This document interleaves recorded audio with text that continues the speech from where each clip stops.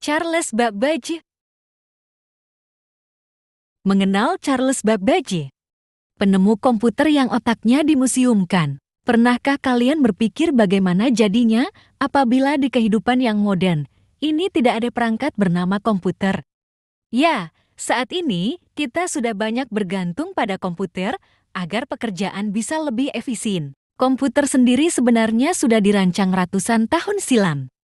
Banyak sosok yang berpengaruh terhadap pengembangan komputer seperti Alan Turing, Konrad Susi, Henry Edward Roberts, Charles Babbage, dan masih banyak lagi. Dari sekian banyak nama, Charles Babbage bisa dibilang merupakan sosok yang paling berkontribusi atas kehadiran komputer. Sebab pada tahun 1822 silam, ia menciptakan suatu mesin yang bisa menjalankan operasi perhitungan aritmetika.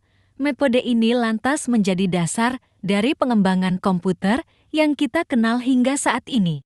Dengan penemuan tersebut, tak aneh apabila banyak orang yang menganggap pria yang lahir pada 26 Desember tahun 1791 ini sebagai bapak komputer. Namun, siapa sangka, jauh sebelum Bab Babbage menggagas alat komputasi ia sempat sakit-sakitan dan terpaksa harus sekolah dari rumah. Seiring berjalannya waktu, Babek akhirnya bisa bersekolah dengan normal di lingkungan kelas melalui Akademi Holmwood, Middlesex, Inggris di sekolah ini, kecintaannya terhadap matematika mulai tumbuh.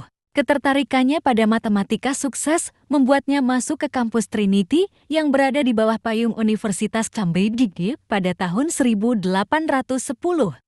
serta kampus Tetterhouse pada tahun 1812. Ia disinyalir tak begitu menikmati masa-masa kuliahnya. Sebab, ada sejumlah laporan yang mengklaim bahwa Babaga ternyata bosan dengan teori matematika yang dipelajari di kampusnya. Mungkin dipicu rasa bosan. Babaga lantas membuat suatu kelompok matematika bernama Analytical Society pada tahun 1812 yang bertujuan untuk mengulik lebih dalam soal matematika.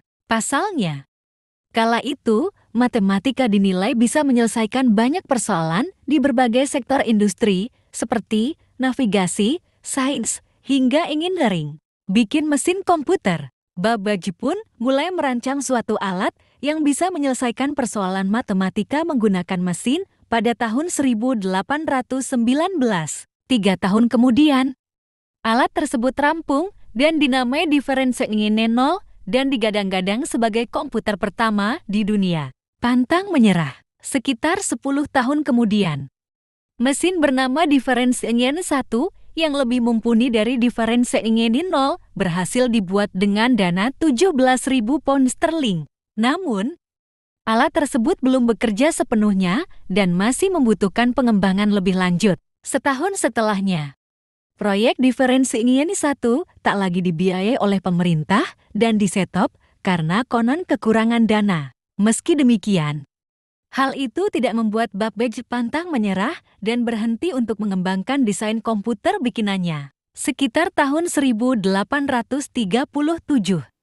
ia merancang suatu sistem bernama Analytical Engine yang bisa menghitung persoalan matematika yang jauh lebih kompleks dan bisa dipakai untuk berbagai tujuan. Kemudian pada tahun 1846, ia memperbarui desain Difference Engine 1 menjadi Difference Engine 2 yang menjadi komputer mekanikal pertama di dunia. Sayangnya, Analytical Engine dan Difference Engine 2 tidak terwujud dalam sebuah produk nyata hingga Babbage tutup usia. Organ otaknya dipamerkan di museum. Babbage wafat pada 18 Oktober tahun 1871 karena mengidap sebuah penyakit.